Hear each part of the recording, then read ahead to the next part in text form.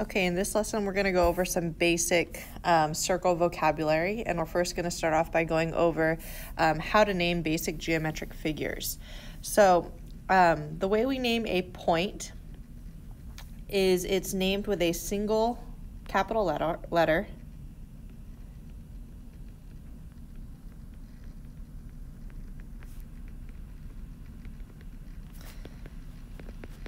Okay, so if this is our point, and there's a letter A next to it, uh, next to it, we would call it point A. That would be the name, how we would name it. Okay, a line. So a line is a path that extends forever in both directions. It's named with two points.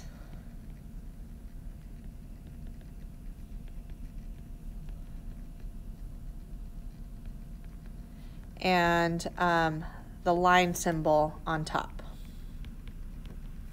Okay, so if we're looking at this line, if there's two points on it, say points A and B, the way we would name this line and refer to it is we would say AB with a line symbol on top, or you can even switch the order and say BA. So in this case, the order of the letters does not matter. Okay, the next one is a line segment. So a line segment differs from a line because a line segment starts and ends. Okay, but we actually name it pretty much the same way. So it's named with two points again. But instead of a line symbol on top, it's a line segment symbol on top. Okay, so we don't use the arrows. So if this is my line segment and this is X and this is Y, we would refer to this line segment as XY with a line segment on top or YX with a line segment on top. All right, the last one is an angle and we've named angles before. Um, but this one is named with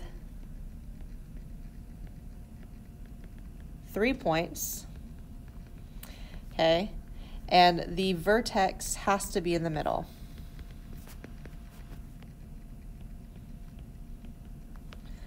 Okay, and we use an angle symbol in front. So the vertex is the point of the angle. When naming your angle, that letter always has to be in the middle. Okay, so if this is angle S, the vertex is T, and this point is U, we would call it angle STU or you can even reverse the order of the letters to say U, T, S, as long as the middle letter is your vertex. Okay, so now that we know how to name basic geometric figures, now what we're going to do is we're going to look at circles and see how these geometric figures show up in circles and what we would call them. Okay, so uh, for the first part, you're going to be filling out the um, the paper that has circle, radius, chord, diameter, secant, tangent, and then you'll switch to the other paper when we talk about angles and arcs and circles. Okay, so for this, I'm just really going to talk through the definitions, and if you need to copy it down, um, and I'm going too fast, just pause the video, copy it down, and then play it again uh, so you can finish copying down the vocab. Okay. So first one we're going to look at is the definition of a circle. Okay, so a circle is the set of all points in a plane equidistant from a given point. Okay, so the way we name a circle is we name it based on the center. So the part that you should write down is just the definition and the name. The part inside the cloud is kind of just a way for you to remember. If you want to try and fit that in some way, you can, um, but that's just more for your, no your knowledge. Okay, so looking at this circle, the center is A. We would call this circle A. Okay, I am also going to be doing quite a bit of highlighting here. Um, so this is circle A, and we name a circle based on the center. Okay. So the next word is radius. So the definition of a radius is the distance from a point on the circle to the center. Okay, so any point on the circle, the distance between that and the center is the radius. Okay, so there's a few radiuses here that I named. So AE is a radius, AB is a radius, AF is a radius. Um, it doesn't matter the order of the letters, but the radius is a line segment, okay, which is why we name it this way. Okay, so the one that I'm going to highlight is uh, AE. So AE is right here. Okay, I'm not going to highlight every single radius because uh, some of these parts are also other things. So AE is my radius. Um, another thing I should point out, I guess, is a radius is a line segment and it always will include the center point and a point on the circle. So when naming it, since this is circle A, all of your should, should include the letter A. Okay, the next word is chord. So the chord is a line segment, so it's something that starts and ends with both endpoints on the circle. Okay, so chord will always start and end on the circle. So in looking at our diagram, CE is an example of a chord because it starts and ends on the circle. Uh, GF is another example of a chord, okay, if we're labeling it like this, GF. And BF is another example of chord because it starts and ends on the circle. Okay, so the one that I'm going to highlight is uh, CE. CE is a chord. Okay, the next word is diameter. So the diameter is a type of chord that passes through the center. Okay, so a diameter is a chord that it must go through the center of the circle. You can think of it as uh, the line segment that cuts the circle in half. So in this case, BF is the only diameter. And you, remember, you can name a line segment. It, the order doesn't matter. So you can say BF or you can say FB. So BF is my diameter. It's a type of chord that goes through the center. So not every chord is a diameter, but every diameter does have to be a chord. All right, the next word is secant. So a secant is basically a line that crosses all the way through a circle. It slices a circle. So uh, the more precise definition is a line intersecting a circle at exactly two points. Okay, so if we look at this, this there's two lines on our paper. There's this one up here and this one here. So the reason why GF is a secant is because it intersects a circle at two points. It intersects at G and intersects at F. So GF is my secant.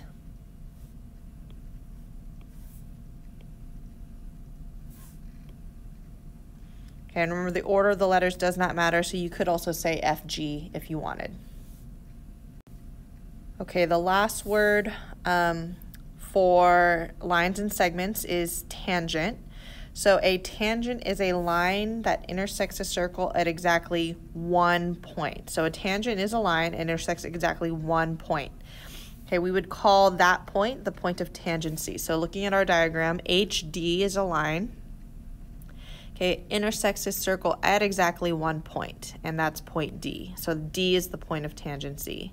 So the way we name a tangent line is using our notation. It would just be HD.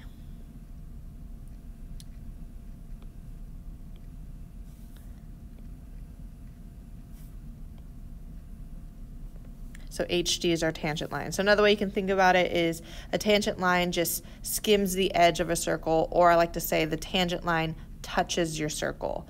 Your chord is contained, and your secant line slices. Okay, so now you're going to switch to the other vocab sheet that has the uh, vocabulary about um, angles and arcs. Okay, so the one that has central angle, uh, inscribed angle, etc. So we're switching to angles and arcs now. All right, so the first one we're going to talk about is a central angle. So a central angle is an angle whose vertex is the center. Okay, so notice that we're using our angle notation here, and remember we use three letters to name an angle. So the vertex is the pointy part, and it must be on the center in order for it to be a central angle. So in looking at our diagram, EAF EAF. This is a central angle because the vertex A is the center of the circle. So angle E, EAF is a central angle. Okay, you can also think of BAE, which is right here, BAE, that's also a central angle because A is the vertex and that's the center of the circle.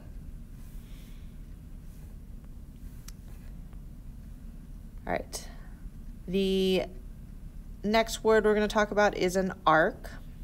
Okay, so an arc is any unbroken part of the circumference. So the circumference is the outside of the circle. Okay, so an arc is any part of the circumference. So GB, which is uh, right here, that is considered an arc. Okay, CFG, CFG is also considered an arc. Okay, so sometimes we name it with two letters, sometimes we name it with three, and we'll talk about the difference in a second. Um, for arcs, we use this notation. There's a little arc over the top. Okay, so GB is an arc, which I'm going to highlight GB. Okay. So now let's differentiate between uh, minor arcs and major arcs. Okay, so minor arcs are the small arcs. So in particular, it's any arc that is half less than halfway around the circle. So that arc we highlighted before, GB, is considered a minor arc because that's less than half of the circle. So we name minor arcs using only two letters. Okay, so GB is considered a minor arc. Uh, CF is also considered a minor arc because that's less than halfway. EF is considered a minor arc. And GD is also considered a minor arc. So anything that is less than halfway. So I'm going to highlight CF for my minor arc. Uh, or sorry, I'm going to highlight EF actually. So EF is a minor arc. All right, so um, a major arc, so I'm going to go ahead and do that one actually right now. A major arc is any big part of the rim, okay? So in particular, it's an arc that goes more than halfway around the circle. So looking at B, F, B, F, G, that is a major arc because it goes more than halfway around the circle. So the way that you um, figure out what it, what arc it is is just go in the order of the letters. You go from B to F to G. Okay, CEB, C, E, B would be this big arc right here. Okay, so I'm to highlight uh, BFG. So B, F, G is my major arc. And we name major arcs using three letters. You must use three letters because if I'm referring to BFG and I just say BG, I'm referring to the minor arc, but if I want the major arc, you do need to use three letters. And you're allowed to pick any letter between the endpoints. So you could also call this arc BCG, it would be the same arc. All right, so now let's talk about um, inscribed angles. So we've talked about central angles, and central angles have a vertex on the center. An inscribed angle is an angle whose vertex is on the circle. So here's our circle. An angle whose vertex is on the circle is considered an inscribed angle. So angle BFG is inscribed because F is the vertex and that's on the circle. CEA is also considered inscribed because the vertex is on the center. So I'm going to highlight BFG. So BFG is considered an inscribed angle. Okay, the last word here is a semicircle, and a semicircle is exactly half of a circle. So they are arcs, so we need to use the correct arc notation. To find semicircles, look for diameters, okay, because diameters cut circles in half, which means we'll end up with a semicircle on both sides. So BDF, BDF is a semicircle, and also uh, FGB is also considered a semicircle. So uh, BDF is a semicircle. Okay, the last thing I want to go over is just some practice naming arcs and angles. So this is the front side of your practice sheet. Um, so we know central angles, we know inscribed angles. So the difference between a central angle and an inscribed angle is a central angle, the vertex is the center of the circle, versus an inscribed angle, the vertex is on the circle. Okay, so um, the other thing we should refer to, anytime you have an angle, it forms an arc, okay? And the arc is the part between the endpoints of your angle, okay? So first thing I wanna do is I just wanna name the central angle um, in this diagram. So the central angle in this diagram is just angle BOC. Okay, and BOC is right here. There are no other central angles. That is the only central angle. Okay, in terms of inscribed angles, I see a few. So the first one I see is BDC. That is an inscribed angle. D is the vertex, and that's on the circle, so angle BDC. Okay, another one I see is BAC. BAC, again, vertex is on the circle. Um,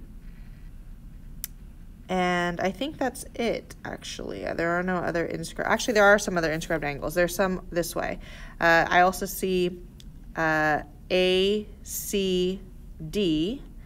on this end, angle ACD. And then I also see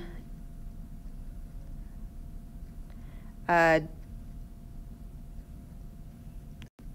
I also see angle ABD, so ABD. Okay, so you can tell as I was going over that, sometimes it's hard to see. Um, but again, going over it, I see BDC, I see BAC, and then if we flip to the other side, it's ACD and ABD. So these are my inscribed angles. Okay, so the arc formed by any angle, whether it's a central angle or an inscribed angle, is called an intercepted arc, okay? So if we're looking at angle BOC, the intercepted arc would be BC.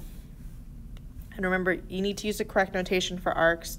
With arcs, you put an, you put an arc over the top. All right, BAC, so BAC the arc, the intercepted arc is the part between the endpoints. So that arc is going to be BC as well. Okay, uh, BDC, BDC, okay, the arc formed by the endpoints would be BC. So if you look at these three angles, these three angles have the same intercepted arc. And if you notice, these three angles have the same endpoints, BC, which is why their intercepted arcs are all the same. Okay, so now if we look at DBA, DBA, the arc formed by that angle, my endpoints are A and D, my arc would be AD. Okay, then if we look at DCA, DCA, again we have endpoints A and D, which means my arc is AD. So something I'm going to highlight here that maybe you can see is that the intercepted arc of my angles consist of my endpoints. So you can always tell the intercepted arc based on the endpoints of your angle. BOC, my arc would be BC. BAC, my arc would be BC, etc., etc.